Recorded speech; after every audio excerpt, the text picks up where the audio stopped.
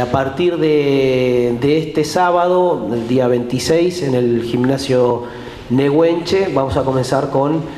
eh, tres actividades que tenemos este, propuestas desde el municipio, eh, armadas con juntas vecinales y referentes, eh, que tienen que ver con tres, tres actividades donde puntualmente lo que queremos es que participen tanto los chicos como las familias, siempre apuntando a la, promoción de derechos y en ese sentido lo que hicimos fue eh, tratar de, convencer a, todas estas juntas de hacer eventos centralizados donde se puedan optimizar los recursos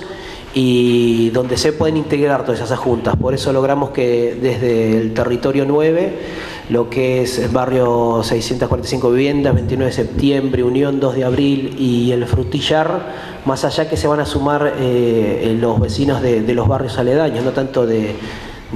lo que es Pilar, Nahuelhue, en Malvinas.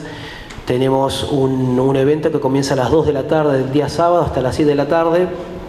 con actividades centrales que tienen que ver con el circo.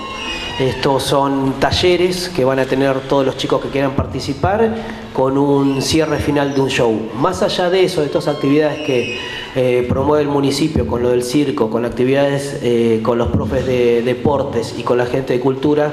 eh, cada junta también le va a dar su impronta, por eso no van a ser todos iguales estos tres, estos tres eventos.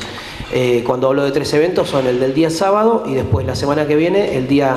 2 de abril, de perdón, 2 de septiembre en el gimnasio 3 y el día domingo 3 de septiembre en el gimnasio número 2, donde también lo que se ha hecho es trabajar con, las juntas de cada, de cada zona para que le den esa impronta y cada uno le agregue a, estos eventos centralizados eh, actividades puntuales de, este, de, cada uno de los barrios que, que se ha sumado. ¿no?